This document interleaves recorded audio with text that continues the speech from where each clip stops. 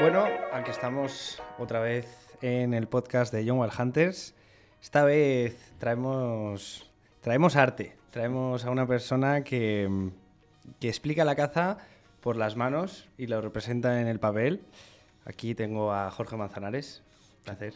¿Qué tal, Ignacio? Qué placer estar con vosotros, la verdad, eso es una gozada. Bueno, siempre, siempre gusta ver con amigos y, y hablar con...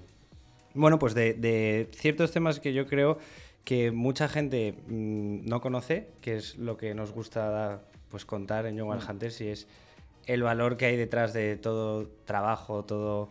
Eh, bueno, pues que ya digo, la gente se piensa que las cosas llegan y las ponen ahí encima de la mesa y ha, se ha fabricado por arte de magia. Pero en tu caso, además, que es arte y es la pintura, aquí tenemos la representación, eh, bueno, pues lleva, lleva yo, yo, personalmente porque es que yo sería incapaz en la vida de poder hacer algo como esto, por lo tanto... Bueno, pero tú tienes muchas más virtudes. Sí, pero... Pero sí es cierto, bueno, trabajo tiene muchísimo, pero tú lo sabes porque ya nos conocemos desde hace tiempo. Um, he tenido la suerte de que no sea un trabajo, porque es un trabajo, porque me sirve para vivir, lógicamente, es la que genera parte de los ingresos que yo necesito para vivir, pero al final disfruto muchísimo. Y entonces he conseguido pues dedicarle muchas, muchas, muchas horas a pintar al cabo de día, porque al final es mi profesión, pero estoy pintando lo que me, lo que me llena, lo que me ha gustado desde que soy pequeño. Es decir, eso es, es una pintura pasional. ¿no? Uh -huh. Entonces, ¿qué pinto? Pinto cosas que sean modernistas, más... Bueno, pues al final he decidido que no, que voy a intentar, digamos, eh, centrar mi, mi, mi, pintura, mi arte, mi, mi, hobby, mi pasión, mi trabajo en, bueno, pues plasmar eh, la naturaleza, el mundo rural, nuestras esencias, nuestra gente. Los pequeños detalles. Los pequeños detalles, muchos pequeños detalles que al final son lo que nosotros como cazadores, como personas, digamos, de, de que, que, disfrutamos y somos pasionales con todo esto, uh -huh. al final representan, ¿no? Es decir, mira, si comentas um, pequeños detalles, hace poco, bueno, hace uno, unas semanas, yo había pintado como una placa, la típica placa que hay cuando vas al puesto de montería, sí. pues así que no te dice nada con una ramita y ponía el número uno, ¿no? Y era una chorrada, era muy pequeñita, 20, uh -huh. 27 por 22, pero me apeteció una tarde. Aparte, que... creo que todos los cazadores tenemos ahora esa imagen en la mente, o por lo menos yo, ¿vale? Efectivamente, y entonces eso me lo transmitía a mí o me recordaba, pues eso, es, es ese puesto de montería, ¿no? Entonces vino, vino un, un, amigo cazador que me encargó una obra más o menos grande. Eh, además que vamos a intentar que en esa obra esté prácticamente toda su vida, digamos, de cazador, pero con su padre. Además, con lo cual todavía es más pasional lo que vamos a intentar transmitir. Uh -huh. Porque además su padre, por desgracia, bueno, pues ya está haciendo mayor y bueno, está ahí en un primer estadio ya de, de demencia senil y tal, con lo cual es duro, ¿no? Uh -huh. Entonces él tiene ese, digo, disyuntiva de, joder, lo pinto, no lo pinto, me transmite, no me transmite, y de repente ve la placa y me dice, joder, ¿y esa plaquita? Digo, me transmite un montón. Digo, pero sí, digo, bueno, es un boceto que he hecho ahí para mí. Sí, para que veas aquí cómo son las cosas. Y dice, pues que me la quiero llevar. Digo, que te la compro. Y, joder, pues ese tipo de cosas, como sí, tú bien sí, dices, sí. al final lo que nos transmiten un poco el tema. Entonces, ¿qué es trabajo? Sí, eh, pero al mismo tiempo me permite estar mucho más en el tiempo, en el campo. En el campo. Es, me permite estar mucho más con la gente que, que yo admiro, que es la gente de, del campo. Me permite estar con los lugareños, me permite estar haciendo una de mis, yo no voy a decir aficiones, porque no es una afición para mí, uh -huh. para mí es, forma parte de mi vida. Es una forma de Es decir, para mí salir al campo y poder cazar pues forma parte de mi vida. Bueno, te iba a preguntar justo que Jorge como cazador, y me estás empezando así que... No, pero es que yo me, yo me defino, ¿no? Y en los tiempos que corren me defino todavía más. Es decir, uh -huh. yo soy el típico eh, señor ya, porque soy un poco anciano, eh, súper jovial, porque me siento así, pero claro, ya van pasando los años. Eh, y por eso me siento tan, bueno, pues eh, ten, tengo una empatía muy especial con todos vosotros, porque me generáis todavía más energía positiva bueno, pero sí. y me lo paso genial, pero en el fondo es eso, es decir, al final... Eh... Tenéis más experiencia, nada más. Bueno, que también sí, es verdad. Que pesa más, lo siento. También Oye. pesa más, también pesa más. Y de hecho ya subir, subir eh, ya me cuesta más eh, cazar en alta montaña, pero cuanto más esfuerzo, eso es. más reconocimiento. Por y si no, siempre haciendo. nos quedará África. Jorge. Siempre, siempre. Pero bueno, si, sigo pensando, fíjate, sigo pensando ahora mismo en, dices, cazar. Eh, he tenido la grandísima suerte que siendo un urbanita de pro, porque al final yo nací en, en Madrid, mis padres, bueno, su vida profesional se ha desarrollado aquí, etcétera, etcétera, y luego toda mi vida profesional ha sido de consultoría, dirección general, dirección estratégica, bla, bla, bla, bla moviéndome por todo el mundo. Eh, hasta hace dos años, que es cuando hubo este gran cambio, digamos, vital en, en mi vida. Eh, bueno, mi padre era de un pueblo, lo cual es genial. lo que yo echo de menos ahora, ya me gustaría yo tener, digamos, ese, ese enganche. Era de Tarancón, de Cuenca. Y teníamos la grandísima suerte que mi abuelo en su época, pues tenía una finca y la pudimos disfrutar hasta básicamente los 25 o 30 años. Yo pasaba dos meses de mis vacaciones en la finca con cuarenta y tantos primos. pues, un campamento. Pero no me veían, porque yo, desde que me levantaba a las 6 de la mañana que salía el sol, hasta las 10 o 11 de la noche que no se pasabas por casa. Es decir, mis compañeros eran el guarda mayor, el pastor, el tractorista. Eh, claro, ¿cómo no voy a ser pasional con el campo? Es decir, es que lo pude disfrutar ha sido parte de tu vida. y, es parte de mi ADN, es decir, los cepos, los eh, conejos, limpiarlos, comerlos, y de vendimia, que es durísimo, recoger las patatas, que es durísimo, eh, las, eh, las, pipas, feliz. Y entonces eso es lo que me ha, mm, creo que ha formado parte de mi ADN y es lo que ahora hace que una vez a la semana, aunque yo sea de Madrid, tenga que salir al campo. Aunque sea andar, mirar, las estrellas, los pájaros, eh, con tu perro, eh, no lo puedo evitar. No, por supuesto, claro que no. Soy agradecido, soy agradecido a la caza. Pues nada, eh, Jorge como cazador, aparte luego a la hora de cazar, ¿cómo es? Pues a la hora de cazar, pues mira. Observador, eso lo Siempre, siempre, siempre, porque vamos a ver, al final intento transmitir en, en mis cuadros un poco lo que para mí y para lo que yo creo que es la inmensa mayoría de los cazadores que nos llamamos cazadores, con lo que eso supone, que para mí son palabras mayores. Es decir, tienes que cumplir una ética, un respeto, un, querer a, la fauna, eh, ser eh, ecologistas de verdad, cuidarla y sobre todo luego eh, poderla disfrutar en la mesa. Uno. Dos. Cazar, pues primero he cazado muchísimos años desde pequeño. Luego tuve la suerte de tener y tengo tres hijos todas las horas que están y han estado conmigo ha permitido que se conviertan en, o nos convitamos en una familia, digamos, que tenemos un, un, un, vínculo común y que nos ha ayudado a entendernos y a comprendernos y a llevarnos eh, mucho mejor, pues han sido muchas y siguen siendo muchas horas comunes que disfrutamos la caza, pero sí es verdad que yo también soy cazador eh, muchas veces solitario. Es decir, necesito mi espacio, normalmente cuando, pues las esperas, en un rececho, eh, mm, ir intentando ganarle la partida a ese viejo Macareno siempre o casi siempre, con todo mi cariño y respeto en, en, campo abierto. Eh, que ya me gustaría poder invertir más tiempo, porque no vivo en el campo. Pero o llamando a, a mi amigo del que me dice, he visto una pisada, fíjate qué zapatilla tiene. Y bueno, y entonces no dormir durante dos semanas solo pensando en ¿cuándo voy a intentar ir a intentar así le hago una partida al jabalí? ¿no? Es decir, la caza... ¿Y ¿Lo he cazado todo? No. Bueno, pero, no pero he, cazado bastante. Sí. Cada pieza para mí es algo especial.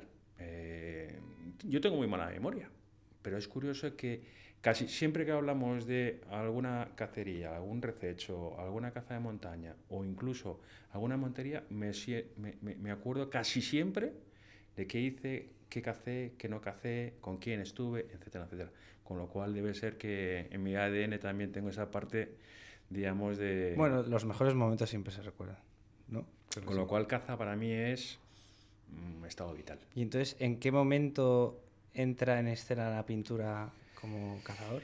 Como cazador, bueno, yo, no, porque primero empezó la caza y luego la pintura. Claramente, vamos a ver, como cazador, pues realmente ya la pintaba, ya la pintaba. Es decir, muchas de mis escenas cuando estaba en el colegio tenían que ver con el campo. Qué bueno.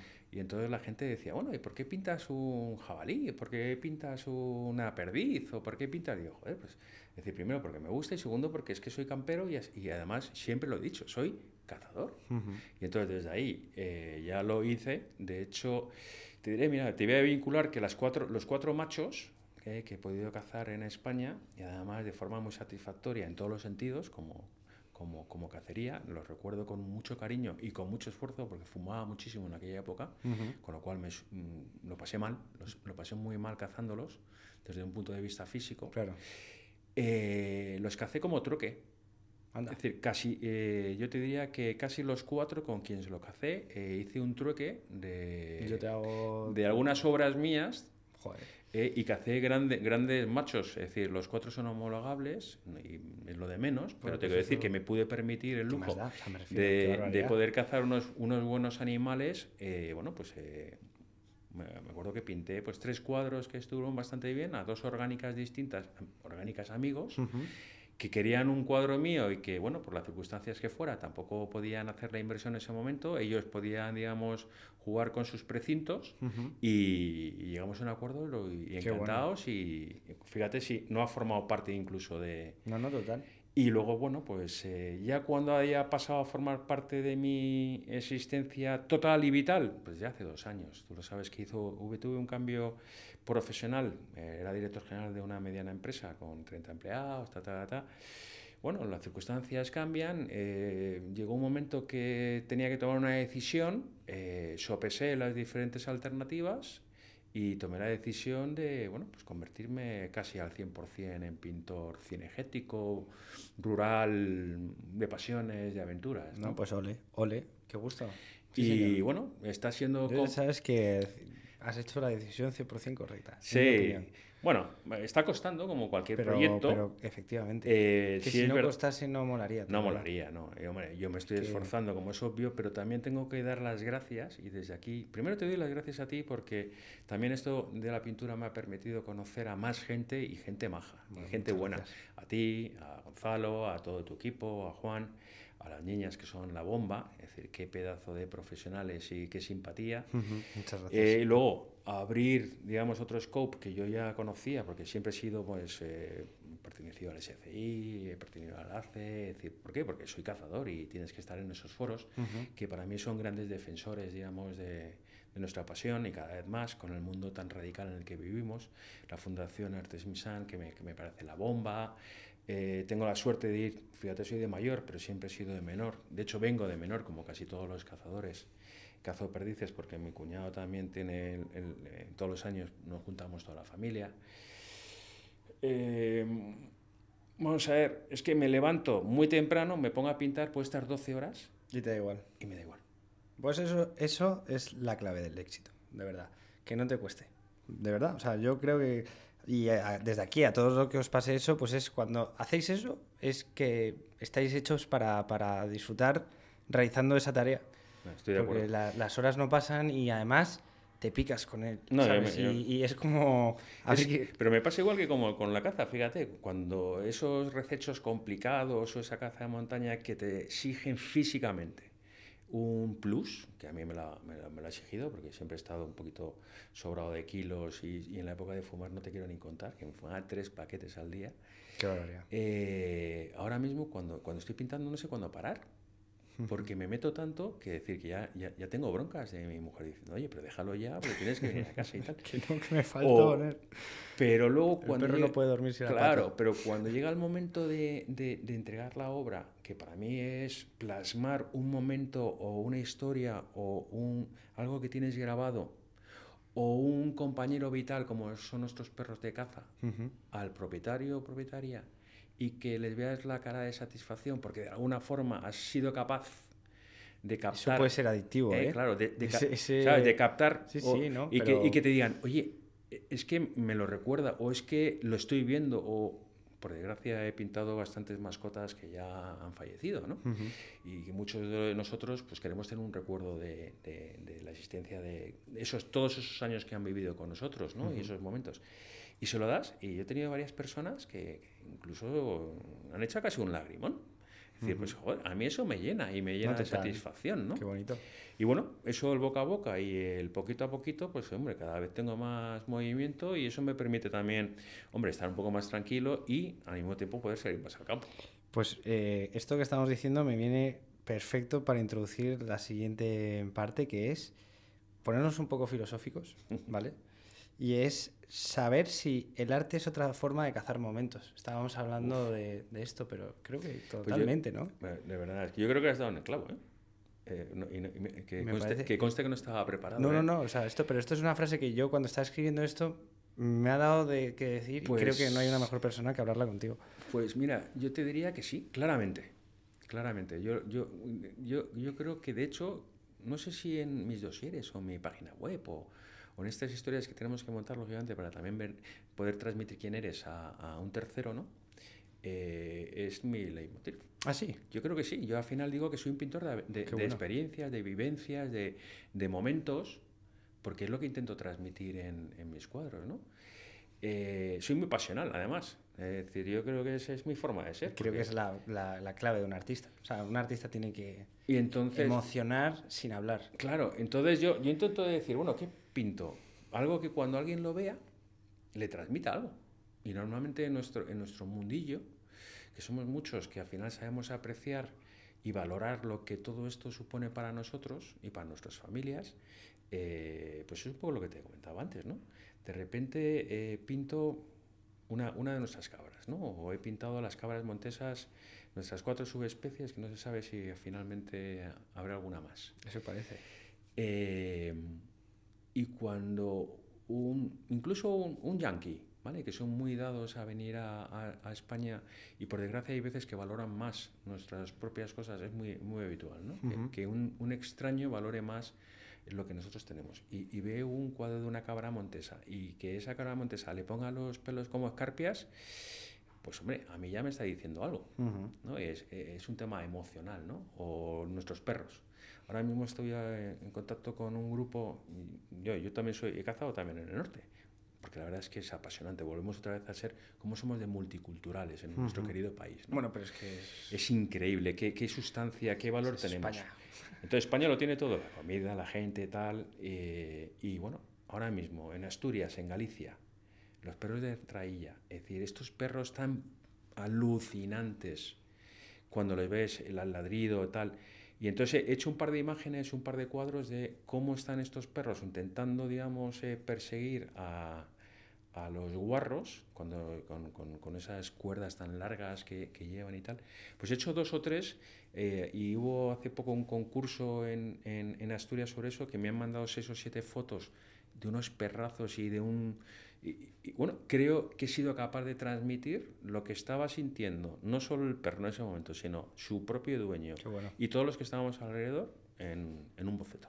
Y para mí eso es la esencia. Pues mmm, entonces, respondiendo a la pregunta, el arte es una forma de cazar momentos al 100%. Buah, totalmente, totalmente. Y espero seguirlos cazando. Qué bueno, total, total. En el campo. Pues y, que yo, y... yo cuando, cuando traspasaba a lo que es mi sector, que es el audiovisual, es, es, que es totalmente igual. O sea, no, me no, refiero es que... que... yo te entiendo al 100% porque yo no cojo un lienzo, pero cojo un programa que está en blanco y le tengo que dar color, ¿sabes? no, no, pues mira, me encanta, Entonces... porque es cierto. Lo que acabas de decir, tú al final estás utilizando otro medio para intentar hacer exactamente lo mismo que hago yo cuando intento pintar un... No, no, yo te entiendo al 100%, por lo tanto eh... no puedo estar más de acuerdo y creo que por eso la forma de pensar en cazas momentos totalmente. Estás sí, ahí. sí, totalmente. Vale, pues y, aquí vamos a, a, ir a por todas. Con esto es, eh, bueno, estamos ya profundizando y metiéndonos en, en, temas filosóficos, pero yo es que hay una cosa que sabes, que me gusta mucho y es que no, no me olvido de dónde, de dónde venimos. ¿no? Nunca, no debemos. Y, y, es que yo cuando te veo y cuando, cuando veo tu, tu eh, profesión, que es que me parece súper digna, porque es que en la vida hay que hacer lo que uno es mejor o, lo que más le gusta, que lo hemos estado hablando antes. Por lo tanto, a mí, sinceramente, lo que el resto pueda pensar, mientras que yo esté tranquilo haciendo lo que me gusta, y más cuando es de la pasión que es la caza, pues ya apaga y vámonos. Por lo tanto, quiero enseñarte algo que, bueno, pues que me gustaría saber qué, qué, qué, qué te, qué te representa esto. Porque esto al final venimos de aquí, ¿no? Venimos de aquí, alguien pintó esto y tú ahora bueno, eres la evolución de... No, no, yo sí, claramente la evolución de eso. Es decir, pero fíjate, eh, es lo que me demuestra, es decir, una, una pintura rupestre como esos que debe tener millones de años, representa que efectivamente eh, es nuestro ADN y que nadie, por mucho que quieran cambiar en la sociedad en la que nos quieren convertir, van a conseguir, porque al final es algo innato. Es decir, yo, es decir, yo lo comento muchas veces con muchos amigos míos que son muy urbanitas, que sus hijos no conocen lo ni, ni, ni, de dónde sale la gallina. Es decir, que es que es increíble. Podría comentar, eh, digamos, ejemplos ¿no? de que he llevado a niños y a amigos míos al campo y no habían ido en la vida. Y ver una pintura donde ves arco, flechas, que ya me gustaría, yo sé que tú eres un gran arquero, mi asignatura pendiente. ¿eh? Bueno, al gran arquero no. ¿eh? O sea, Pero eh, eh, los ciervos, sí, sí, sí. Que, que claramente están ahí representados. Pero es que eso es lo, lo, hacían para vivir. Es decir, era sí o sí, o cazabas o morías. Uh -huh. Pero es que lo que nosotros hacemos es o cazamos o desaparece la caza. Uh -huh. Fíjate que yo creo que tiene bastante sentido. Sí, sí, total. Es decir, hay caza gracias a los cazadores. Hay calidad y sostenibilidad gracias a los cazadores. Por mucho que quieran decir. No hay enfermedades si se hace una correcta gestión. Uh -huh. eh, hay riqueza si se sabe, digamos, hacer bien las cosas. Y si además que es una pena en España y se están haciendo grandes esfuerzos. Y esto yo lo he vivido y me da muchísima rabia. Eh, lo he vivido mucho en, en, Europa Central, fundamentalmente. Cuando he ido a cazar ahí, he tenido alguna oportunidad. El tema cultural tan, tan, tan suyo de poder eh, tener la dieta, digamos, familiar dos veces a, a la semana comida de caza. Uh -huh. Pues bueno, en mi casa, a pesar de los pesares, comemos normalmente una vez a la semana algo de caza y sí, normalmente lo he cazado yo. Qué bueno. Con lo cual, ¿qué me representa? Bueno, pues es que es... Bueno, tenemos este... que explicar... Sí, perdón. Tenemos que explicar, no, no, eh, tenemos que explicar que por qué cazamos. Uh -huh. y, pero es que no hay mucho más que explicar. Yo creo que con esa imagen, al que tuviera dos dedos de frente, podría llegar a entender que es que somos cazadores, venimos y es obligado que sigamos siendo cazadores, antes solo y exclusivamente para comer, pero ahora, si cabe, para que exista eh, fauna y se, se, pueda, se, se, pueda seguir disfrutando de, de, de estos animales tan maravillosos uh -huh. en el campo. Te digo a mí que me transmite. Venga. Yo me imagino a Jorge Neandertal pintando esto en la cueva. Pues mira. o sea, es decir, yo, yo, aparte de que lo has explicado espectacularmente bien y me encanta, pero, pero claro, es que eres tú hace mucho tiempo. Bueno, fíjate. Es decir, que, eh, que me... la pintura, ¿vale? de, de, lo que representaba la caza puede sí, ser una de, las, sí, sí, de las, partes que nos ha acompañado Totalmente. Y que no aquí no ves los bueno los poblados o tal no es que es que no sé aquí hay animales y gente cazando por lo tanto de hecho, de hecho me, me, río perdóname porque me, cuando acabas de decir mi mujer dice de mí llevamos 30 años ¿eh? muy fuerte ¿eh? 30 años casados eh, dice es que tú has nacido en una época que no es la tuya no, no, pues... Y yo creo que lo que acabas de decir corrobora claramente que, yo creo que debería haber nacido en la época de los Vaya, ya se estaba cogiendo cueva, ¿eh? Sí, sí, yo tenía que estar pintando y cazando, que es lo que realmente a mí me apasiona. Qué chulo. Sí, sí, pues mira, oye. Pues no, esto era... Me apetecía enseñártelo porque creo que, joder, pues como artista, no, no, el tener también... Bueno, que lo pienses, que tienes las raíces de una de las personas que en su día estuvo haciendo lo mismo que estás haciendo sí, sí. hoy tú, que es cazar momentos, y, es, y, él los cazó y ojo, que ha llegado hasta hoy. Sí, sí, no, es impresionante, no, totalmente te lo, te, lo, te lo, agradezco, pero Porque... es que ahí se, lo, ahí, ahí se, se plasma de forma uh -huh. muy... No, y bueno, y cazáis historia al final, vosotros sí. sois los que transmitís la caza a nivel visual también. Totalmente de acuerdo. Eh, tus obras y tu forma de pintar, que creo que la gente pues no conoce, y si no lo conocen pues les animamos a que lo conozcan tenemos aquí este lobo y luego nos ha traído Jorge pues unos, mm, no sé, ¿qué, ¿cómo los llamarías? No, son unos pequeños, digamos, son, son láminas más sencillas. Uh -huh. En este caso eh, tenía que hacer una serie que ahora lo veremos. Eh, bueno, pinto mucha mascota, como tú bien sabes.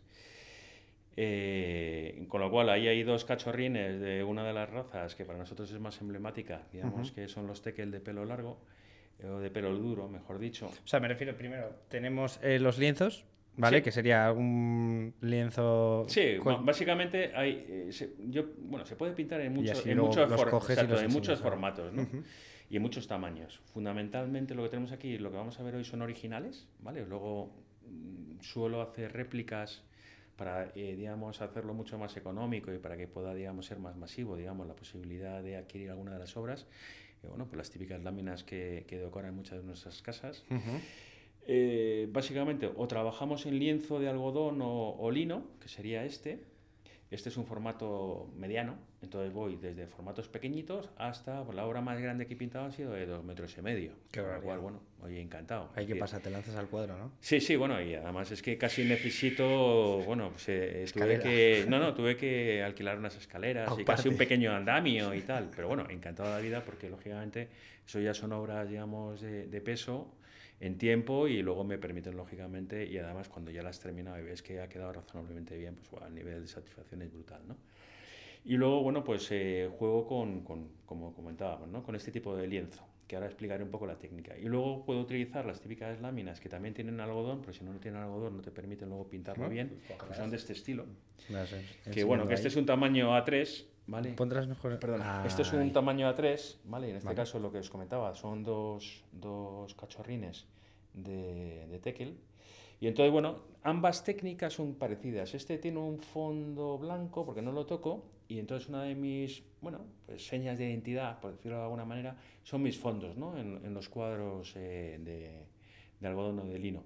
Que los uti- algunas manchas muy peculiares con unos colores ocre, eh, digamos, muy, muy de campo para mí, de hecho es, forma parte de mi, de mi forma de pintar. De tu toque. Sí, y que son de acrílico, ¿no? Y luego manchas y aguas, etcétera, etcétera. Y sobre eso luego pinto, ¿no? Y luego, ¿cuál es mi técnica? Pues básicamente pinto en bolígrafo. Ojo, pinto eh. a bolígrafo, de hecho, en muchas de mis ¿Bolivic? Sí, un bolivic, de toda la vida, el que Bolivic. utilizamos. Mm. Entonces tengo, ahí, yo no sabía que había tantos graduaciones y grosores de Bic. Qué bueno. Entonces tengo cuatro graduaciones y grosores, y en función si tengo que tener más o menos Mira, detalle, tiene detalle ese cuadro. de eh. hecho, aquí se ve, ¿no? Y luego, pues, eh, dejo muchos de mis dibujos a bolígrafo porque quedan muy bien, en plan boceto, o ya los termino al óleo. Entonces, todos mis cuadros, este y el de Lobo en ese caso concreto, están terminados al óleo. Pero lo que creo o intento transmitir es que no es hiperrealismo, es realismo, pero no hiperrealismo, porque tampoco quiero llegar al hiperrealismo. Quiero que también transmita, digamos, una mezcla de, de las diferentes técnicas. Entonces, si te acercas a cualquiera de mis obras, como estas, se ve A ver, perfectamente. dime, ¿qué, el- qué el- emociones querías transmitir en esto? bueno, pues en este caso si concreto, co- fíjate, coincidimos. eh, esto es, bueno, además es que es un, un acuerdo que tengo con los veterinarios estupendos de Segovia, eh, que además crían perros, y entonces lo que hemos conseguido es no solo que eh, los que compran y adquieren un perro que al final va a formar parte de su vida, sino que tengan un recuerdo especial y distinto y que le transmita algo y lo pueda recordar de por vida, ¿no? Y entonces eh, hemos conseguido que, yo os diría que más del 50% de los que terminan comprándoles un perro me hagan un encargo de, de sus perros pintados. Y les genera, digamos, eh, digamos, un algo diferente, un algo distinto, algo único. ¿no? Ujú. Y la verdad es que encantados, con lo cual ellos, eh, ellos como clientes encantados. Mis socios no te quiero ni contar porque también Claro. dan un producto diferencial y yo como pintor, pues lógicamente me encanta. ¿no? Chapo. Entonces, estos serían nuestros perritos. Y aquí lo que he hecho es, bueno, eh, ahora mismo también es una serie de, de dibujos, también pues con la misma filosofía en papel de algodón, también con la misma técnica, eh, bolígrafo y terminado al óleo, pero de nuestras patas rojas. Ujú. Las patirrojas son, bueno, pues no somos... Entonces hay muy pocas volando. Es una cosa increíble. Quiero hacer ahora una serie de, de- de perdices volando y no, no encuentro ni fotos, ni cuadros, ni imágenes de perdices volando. Entonces me, me- me- Te has vuelto loco. me he vuelto loco y he dicho, voy a conseguirlas y voy a hacer una serie de, Oye, pues mira, ya te- perdices volando. eso. Y entonces, Sí, bueno, pues ya he empezado, pero con independencia de eso, pues bueno, es Uf. verdad que tengo que hacer Mira, nuestras yo que he tenido perdi- un perdigón, buah, espectacular. ¿eh? Entonces, eh, mi, bueno. mi perdigón se pelearía con él. Entonces, claro, dices, hay, hay muchísimas perdices pintadas, sí, pero bueno, ¿qué ocurre? Y joder, me llena un poquito de satisfacción, y lo digo pues, con la humildad que eso merece, como si soy un, un principiante en este mundo, cada uno tenemos nuestra forma de pintar, y bueno, parece ser que he conseguido un pequeño nicho y a la gente le gusta un poco mi, mi estilo, ¿no? que es lo que tienes que hacer en la vida, ¿no? ser distinto o complementario. ¿no? Y entonces, Ujú. bueno, pues en este caso concreto, también eh, estoy haciendo una serie, pues ya os digo, de, de perdices en este estilo que creo que han quedado muy chulas. Esta, como no puede ser de otra forma, es Cacareando. cacareando y ahí en pleno celo. ¿eh? Es decir, que, eh, pues Le falta ponerle el sonido. claro, y entonces ya lo estamos viendo. Es decir, cuando estamos en el campo y escuchamos esto, es que nos emocionamos. Y ya estamos mirando constantemente dónde están? están, y tal. Y luego, pues esto se traduce en Batalla. en una batalla entre dos machos. Qué bueno. ¿vale? Que de hecho ahora mismo se está empezando, es la época. Y entonces, bueno, pues... eh, Qué bonito. He hecho unas cuantas que, bueno, que van a formar parte de una serie. Estas son todos originales y, bueno, lo que hago luego, como comentaba, para poder permitir que no solo pueda llegar a una persona en concreto que pueda comprar el original o la serie, que está, normalmente se suelen vender por series, es hacerlas de forma, digamos, eh, en láminas, reproducciones mucho más económicas y, lógicamente, eso llega, ¿no? Ujú. Y, y luego, bueno, pues como tú comentabas, ¿qué otro tipo de, de formato? Pues mira, el lobo, que yo creo que ha quedado, bueno, hemos conseguido sobre todo la mirada. Si los animales no consiguen la mirada, al final no merece la pena, ¿no? Y bueno, pues ha gustado bastante. Entonces, si te acercas a él, ves, ves el bolígrafo. Eh, y qué es lo que yo intento combinar, ¿no? Las tres eh, técnicas, ¿no? Acrílico, bolígrafo y óleo. Y bueno, pues eh, vuelvo a decir, lo veo, soy muy autocrítico conmigo mismo como tiene que ser, pero yo también reconozco que hay veces que consigues alguna obra que te transmita Ujú. y quizás nuestro lobo ibérico, que nos daría mucho de qué hablar, ¿eh? Es decir, y ahí Totalmente. Te doy libertad absoluta para, porque yo soy un defensor eh, aférrimo del lobo, Ujú. pero soy más defensor todavía de la gestión adecuada del lobo, que espero, deseo que cambie en los próximos meses. Sí, sí, yo creo que sí. Todo pinta que vamos hacia la buena dirección.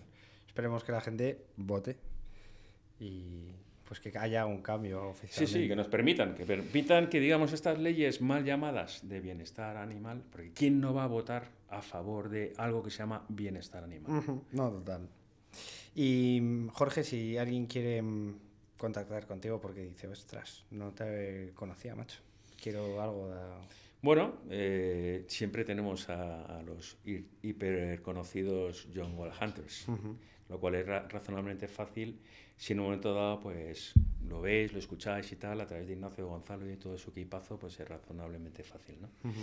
Y luego, pues en mi caso es muy sencillo, es decir, eh, mi email, si me permites ahí hacer No, no, el haz lo que spoiler, quieras. es Instagram, bueno, es, eh, en Instagram, eh, que la verdad es que ahora mismo es, es un, un canal de comunicación muy, muy, muy cómodo y muy fácil, pues es manzanares-jorge, ¿Vale? ¿vale? Ahí tengo, no todas, pero tengo una gran parte de las obras que, que he pintado y Sí, de hecho interactúo mucho, un portfolio. Luego tengo mi email que es eh, manzanares.jorge.gmail.com Muy bien. y luego mi página web pues es más fácil todavía porque es www.jorgemanzanares.es. Qué bien. No tener ningún conflicto ahí, ¿eh? Ojo. No, no. No, no, bueno, tuve, tuve un... ah, bueno, es porque no pude poner el com, ¿eh? No te voy a decir que no pongáis com porque a lo mejor vais a una página web que no tiene nada que ver Ah, vale. Pero bueno, y luego pues también es verdad que a través de intento, este año si Dios quiere, eh, he tenido la suerte que me han llamado de la feria de Ciudad Real Ah, qué bien. porque van a montar, fíjate, en esta línea también quieren, digamos, montar una gran área, digamos, de, de pintura relacionada con la genética, pero como actividad, Ujú. para que los visitantes puedan disfrutar de ella. Y bueno, nos han invitado a, a dos pintores eh, a participar y bueno, me han dado 25 metros lineales de pared, Ostras. es decir, que son muchos metros para, para llevar mis obras. Entonces, bueno, estaremos ahí cuatro días, Muy chulo. con lo cual encantado. me encanta, vida. ¿eh? O sea, yo cuando... Mira que en ferias internacionales, eh, la parte del arte que suele ser así, de, pues te hacen una exposición, Sí. básicamente. Mola un montón. Sí, sí, no, y estoy muy ilusionado con ese proyecto. verdad, ¿eh? En Badajoz, Mola a lo mucho. mejor también voy, por supuesto, en SCI, digo, perdona, en SCI, en Cinegética. Vaya. En Cinegética, pues eh, he estado y seguiré estando, como es obvio. Y bueno, pues, eh, pero lo más fácil, ch- chicos, la verdad, lo más fácil es a través de Ignacio y Gonzalo, John Wall Hunting.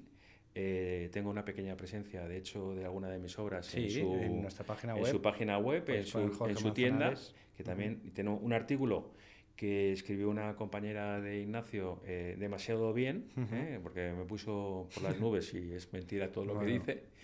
Y, y, bueno, pues a vuestra disposición, es muy sencillo. Y lo más, más fácil es en el campo. Si nos encontramos en el campo, entonces será más Ya fácil le- llegar a plasmar, digamos, es- e- ese momento en, en- en un cuadro. Bueno, pues yo aquí decir que ojalá podamos eh, encontrarnos también en el campo, porque solo nos hemos visto en Sí. acciones de... Bueno, miento, en una esta- hemos estado juntos. y- Bueno, y, sí. este año estaremos otra vez, si Dios sí, quiere. pero ahí fue, Pero un no, fue sí, poquito. Sí, fue, poquito. poco, sí. Eh, no, yo digo más un rececho y tal, y que pongamos en práctica lo que es a lo mejor coger un momento y, y- e iniciarlo ahí. Sí, sí, yo Luego creo lo que puedas es- retomar, pero eso puede ser un proyecto muy chulo. Te tomo la palabra. Yo Sí, creo que deberíamos intentar y de hecho, bueno, vamos a retarnos mutuamente. Yo creo que, o estoy intentando que, Bueno, es que a, a más, aún más, lo ponemos ahí. efectivamente, vamos a intentar que ese momento, Si quiero mi token, lo tengo que conseguir. venga, pues lo hacemos así, lo hacemos así. Venga. Vayamos al campo, Bien, venga. disfrutemos del campo, tengamos un buen día de campo, de caza, y si somos y tenemos la capacidad de tener un buen lance y abatir, abatir el animal que sea el adecuado en ese momento, luego lo pintaremos e intentaremos eh, volverle a dar todavía y Más hacer vida. más respeto a ese animal, darle la vida y plasmarlo en un cuadro. Perfecto.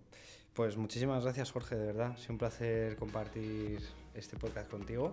Ya tenemos un- una continuidad, o sea que Pues hombre, muchas gracias a vosotros, gracias a ti Ignacio y Nada, por la oportunidad y porque me siento en casa y bueno, pues Bueno, es una tu casa. forma de transmitir un poco pues esta, esta pasión tan, tan increíble que tenemos todos y que en mi caso pues lo intento trasladar a la escultura. Pues si queréis algo de Jorge, ya sabéis, chicos.